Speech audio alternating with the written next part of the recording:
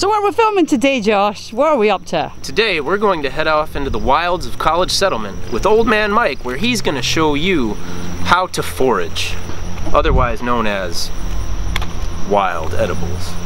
Ooh. So, wild edibles. First of all, there's a couple things we have to remember. Do ne never eat anything unless you know exactly what it is, because we want to be safe. And there's certain places where you can eat things and certain places which shouldn't eat things, which we will talk about later. So Rebecca, we're bringing you along on this wild edibles hike Yes. as our taste tester. Yes, I'm prepared for that. All right, thanks. You'll be completely honest about the stuff Mike's having you taste. Yes, All right, I'm good. ready to be a completely honest and forthright wild edible gourmand today. All right, let's head off. Gourmand.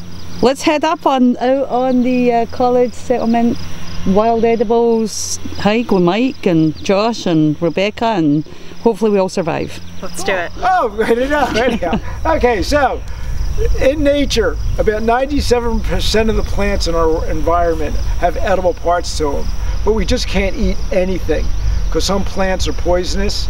uh, Some plants will make us sick. Some plants are only edible for one week out of the year. Some plants are only edible. so, but a lot of plants are really good for us. And for example, this is one. This is a white pine tree, an eastern white pine tree. And the reason I know it's a white pine tree, if I take one of these things off, and it's got these little things, there's five, there's five needles to a bud or a vascule. And if there's five of them, we know it's a white pine. So what's cool about a white pine tree, even though we can't eat it, I'll get to it in a minute, it has a lot of vitamin C in the needles. But if we swallow, if we stick these in our mouth and chew them up and swallow them, we don't have the right kind of microbes in our stomach to digest them, so they're just going to come out in your poop the same way that you swallowed them. So you could make tea out of them, but Rebecca didn't bring the pot of hot water, which I can't believe. So what you can do with them, you can take them and you can stick them in your mouth. You can chew on them and suck on them, whatever you want to do. And then when you, after they're in your mouth for a little bit, you can spit them out or throw them on the ground because they have a lot of vitamin C. They are really, really good for you. So we, vitamin C is one of the things that our body doesn't make, and we have to get it from plants and things that we eat. It's delicious. Well, not so much this tree. There's other trees that taste better. But, so, uh, for example, vitamin C our body doesn't make. We have to get it from foods that we eat, and one of the foods that we eat is oranges. And uh, a couple hundred years ago, sailors from around the world would get sick from a lack of vitamin C. They got some kind of illness. And what was that illness called, Josh? Scurvy. Especially pirates. And then they figured out that it was just a lack of vitamin C. And if they would have taken oranges or lemons with them on the ships, they wouldn't have gotten scurvy. So this is an eastern white pine. Now, I will eat it here at camp, but if I am elsewhere, I will not even touch it because uh, a lot of uh, parks and cities and townships they spray for pr- spray for mosquitoes. We we are a chemical-free camp, so I know that if I'm here, we don't. There's nothing on this tree that could possibly harm me. So it's perfectly safe to eat here, but not like if you're walking. If you're not sure, just please don't eat it because we don't want you to get hurt. That grows everywhere around here. It's called plantain, and there's nine varieties that grow in Pennsylvania. And when it's about the size of a quarter, it would be really good to eat. Right, it tastes a little bit like spinach. Right now, you would want to cook this because it's bigger. Uh, and it's, it's kind of like going to be kind of tough because it's old. But what's really cool about this plant is if you roll it up and you break it with your teeth to get it to get the juices starting to flow. If you have an insect, a spider bite, a bee sting, you rub it on your insect bite, it works better than the stuff that you buy at a store. And it grows everywhere. So there's nine different kinds that grow in Pennsylvania. And it's called plantain. And it came over with the Europeans in the 1500s. And the Native Americans live, uh, that were here, whenever they saw this gr- growing, they knew there was a white settlement nearby.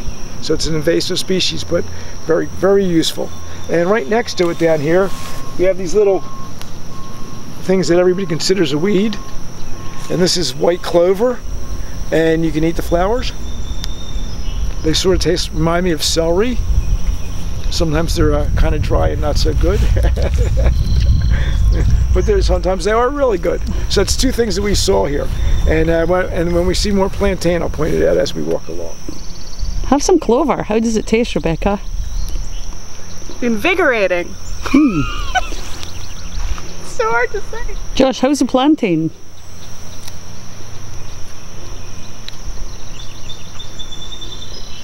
It's actually pretty good.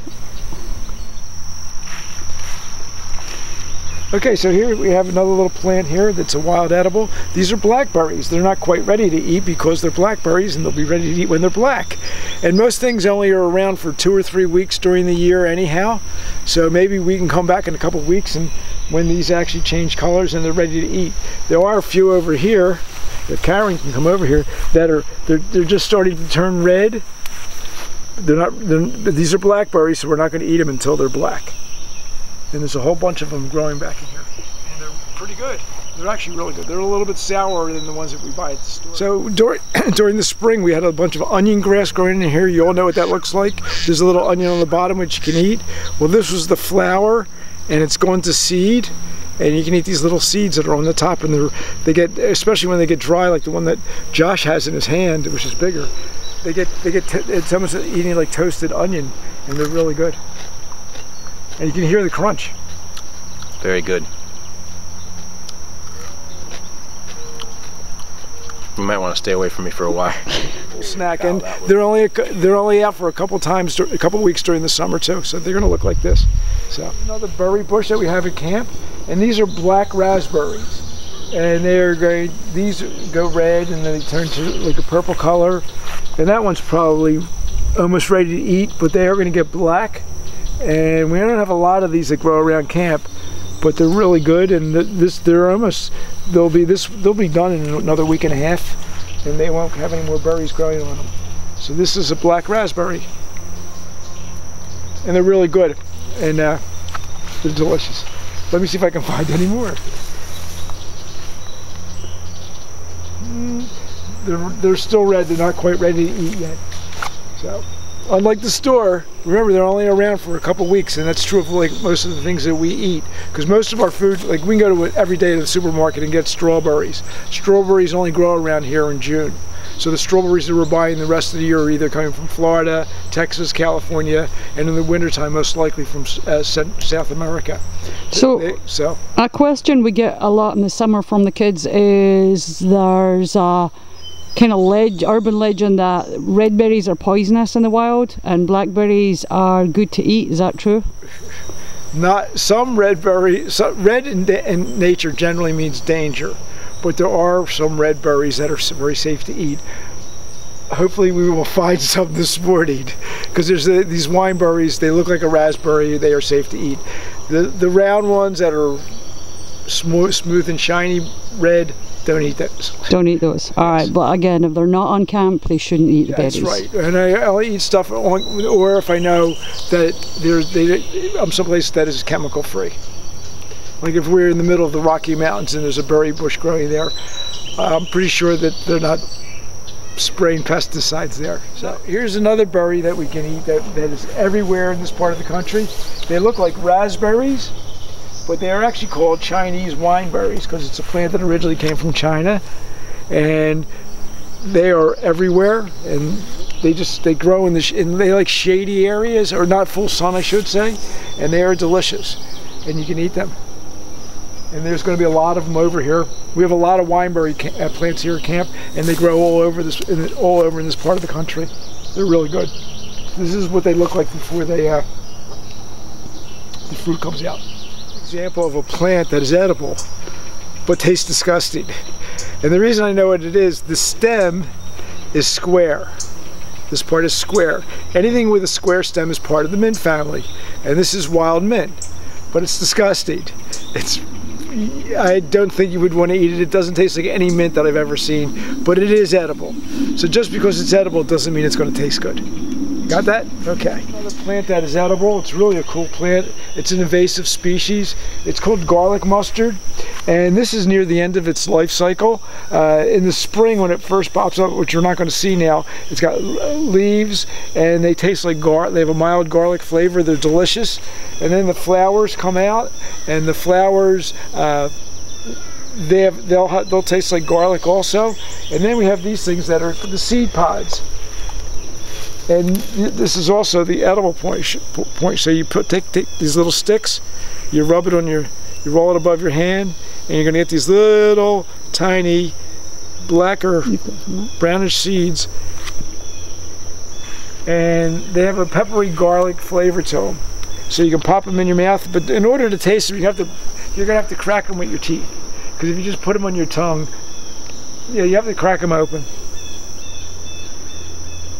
and what what kind of things can you use these for Mike seasoning make mustard I've heard some people use them on their salad yep you can put them on anything. Eh? I get almost a, a horseradishy kind of flavor from them. Josh always tells me it reminds him of wasabi. Wasabi. Sometimes it's more spicier than other, but they're everywhere, and the animals around here don't know that they can eat them, and they are delicious. So we can basically eat the whole plant, and we can eat it at different times of the year, except for the roots.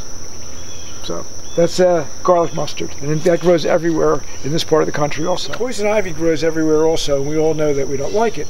But poison ivy, and but animals can eat poison ivy and it doesn't bother them. So just because an animal's eating it doesn't mean it's safe for us. I mean, goats eat poison ivy. Birds love to eat poison ivy berries.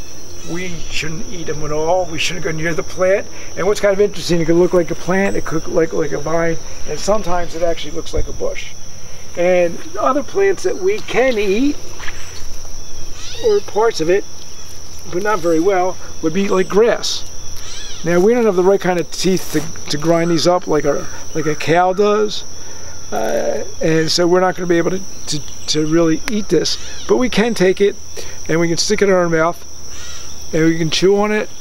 And some of it is really sweet and tasty, but this isn't something that we could digest. So we, and our teeth, we don't have the right kind of teeth to grind it up and we don't have the right kind of microbes in our stomach to digest it either but we can chew on it and sometimes the stems of the grass taste really really good okay another very popular plant that we find growing everywhere. It's basically a weed.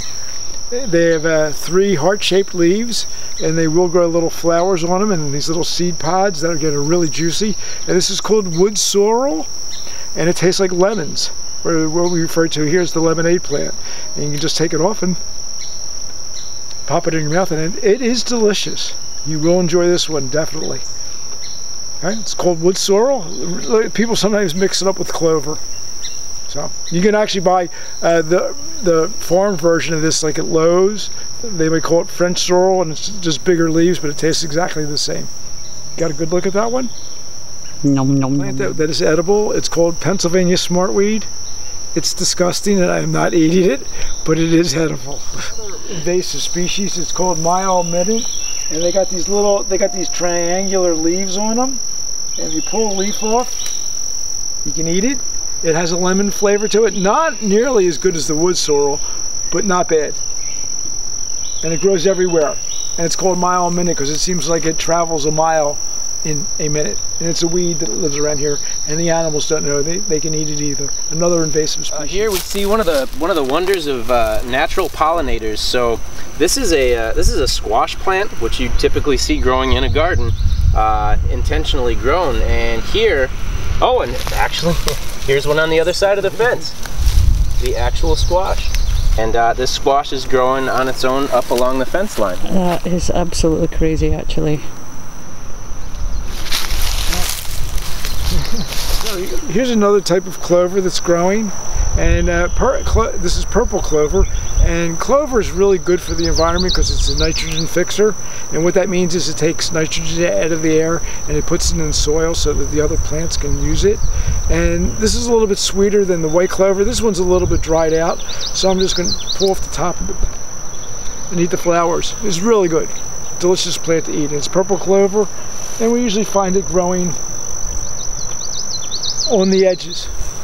Okay so we have a we have a lot of black walnut trees here and this is a black walnut. And some squirrel cracked it open and ate what was in the middle. Now we can eat them we, they usually fall in the fall in the autumn. And what you do is you take them and you put them in your like in your house and let them dry out over the winter. And then in February and February March you can crack them open and eat them Uh, they are, there's not a lot of nut inside each one, and they are a little bit bitter, but people do use them to bake with. So this is called a black walnut, and some squirrel around here just went nuts on this.